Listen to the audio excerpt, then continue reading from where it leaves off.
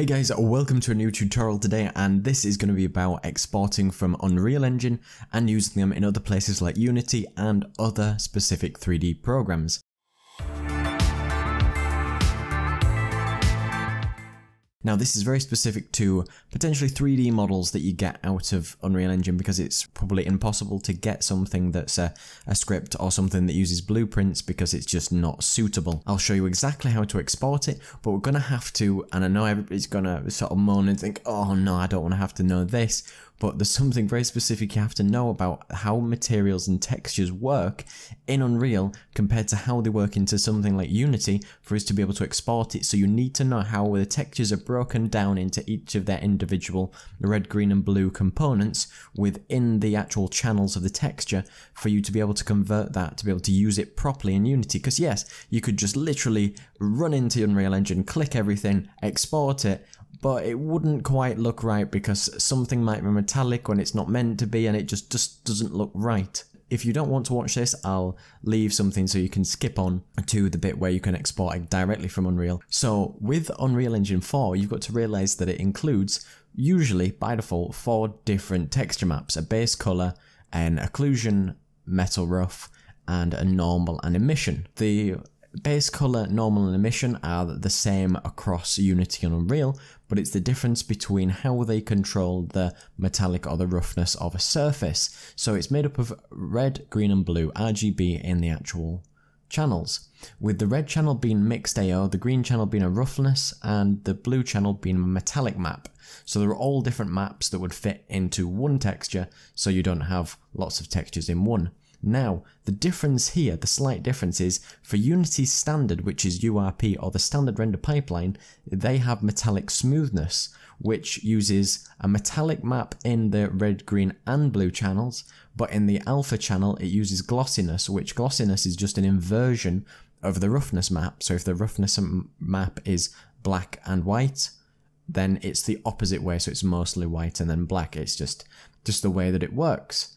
And in, difference here, also in Unity's HDRP workflow for their metallic uh, smoothness workflow, they use RGB again with alpha, but red is metallic, green is mixed AO, blue is uh, be filled with anything, and alpha is glossiness. So it works similarly, but we also add in the mixed AO, which needs its own channel. So with these in mind, we'll go and export from Unreal Engine, and I'll show you exactly how to do it. So when we're in Unreal Engine, as I am now, is that you can go to the Unreal Engine tab at the top, you can go to Library. If you've got any of the assets that you might have already downloaded from free assets or stuff that you might have bought previously, sometimes you need to check what version number they have so you can click on any one of the assets. So I will choose the abandoned fact. On their asset store you can see that it supports between version 4.19 and version 4.25. So if you go back on the library, you can install a new version of Unreal if you need to by clicking the little plus and you can choose to set one of them by default.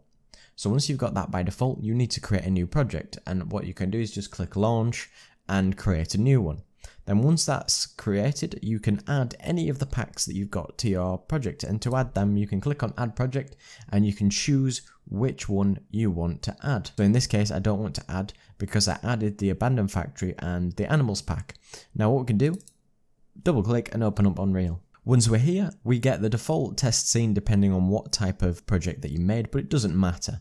Now, for my example, I'll use the African animals pack and I'll choose the elephant and we've got a bunch of assets in here which the developer set. If we go to the meshes, you can see that the different skeletal meshes and things from there. So specifically to models, you can right click, go to asset actions, go on export, and you can choose to export that to the a folder that you might have. So on my desktop, I'm just saving it as the default name and it'll be saving it as an FBX file.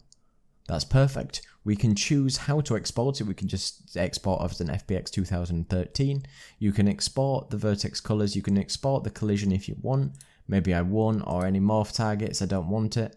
And anything like that, I can just export and it will come with level of detail if the object comes with it. So you can just click export and it will export that model out. So it's slightly different with materials is that usually depending on how this is set up, because Unreal Engine can be different, if we go to the elephant and we go to the textures, now it's got a bunch of textures here, which are fine because we can get grab the base color easily, normal, specular.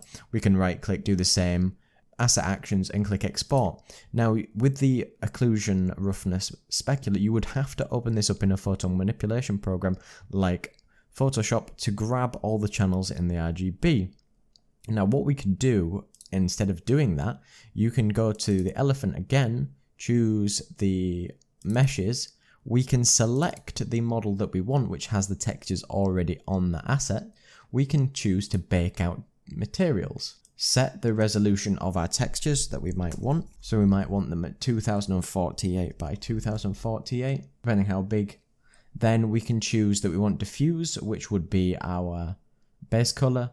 We can add another, which would be we wanted our roughness, because like in Unity, roughness can be just inverted to be glossiness. Then add another, and we can choose normal. Add another, we can choose ambient occlusion, let's say another which could be our metallic and that's what we'll use for this. And you can choose to choose whichever other maps you want, and you might want opacity if you're choosing that. Now we can click confirm, and it will bake those textures out for us automatically if we want to do it this way, and then it will have to recompute the shaders because that's just what Unreal Engine does. Then what we can do is we can go back to the elephant, go back to the meshes folder because it won't refresh otherwise, and you can see now here we have the ambient occlusion, we have the base color, we have the metallic, we have the normal, and we have the roughness. So you can see that the metallic of an elephant, an elephant is not a metallic object, or isn't very shiny, but it has got a roughness to it.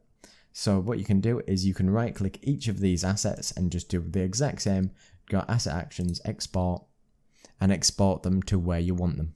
Okay, so now we're in Photoshop, we're going to prepare our textures to be able to use within Unity. So this is going to be an example of using the standard render pipeline. Now I've opened all these up, you don't need to do anything with the normal map. That's absolutely fine, we can export that into Unity later. We can keep the ambient occlusion for this because in this case for Unity standard, the ambient occlusion is separate. We want to keep that roughness because we said we wanted to do something with it to turn it into a glossy map we have the metallic map, but it's black because our elephant isn't very metallic. The base color doesn't currently have any transparency or opacity maps, so if it did, it would need that, but that's not our concern for now. We just wanted to work on the actual metallic roughness or the metallic smoothness in Unity. So when we've got our metallic map here, you can see that it's just black. I'm just going to double click my layer in Photoshop and look at the channels and the channels are just RGB, red, green and blue. Now, because we're on the default layer, what we need to do is actually go to layer, layer mask, and we need to do a layer mask from transparency. So then we can mask it over the top.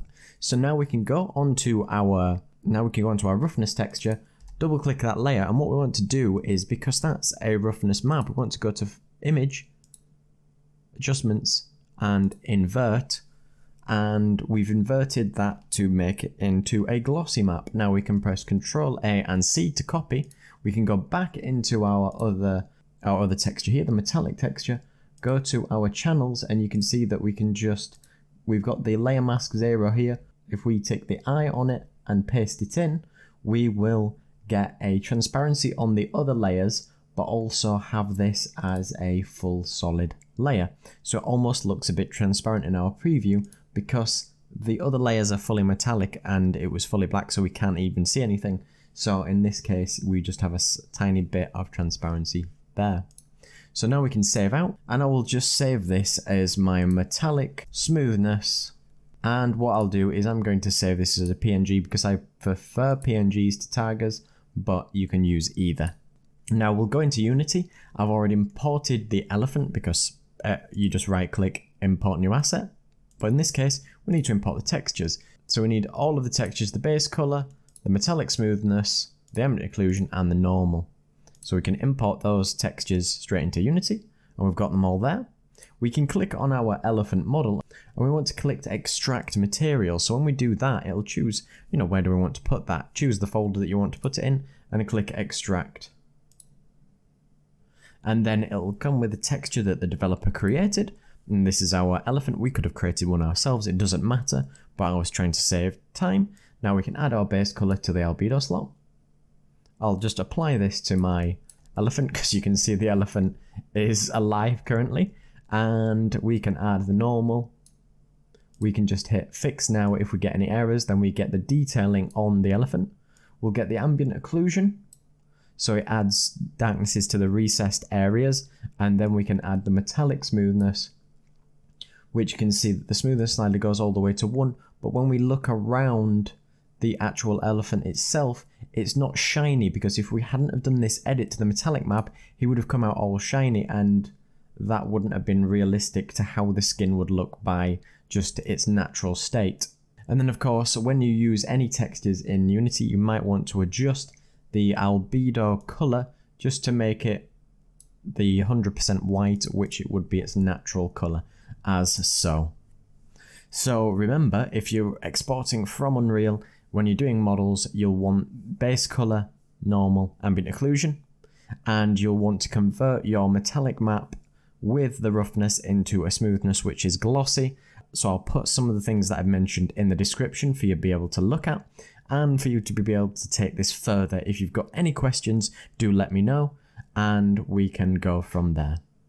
So I hope this helped people out and I hope that you can start taking models that you might want from Unreal Assets to use in other places like Unity.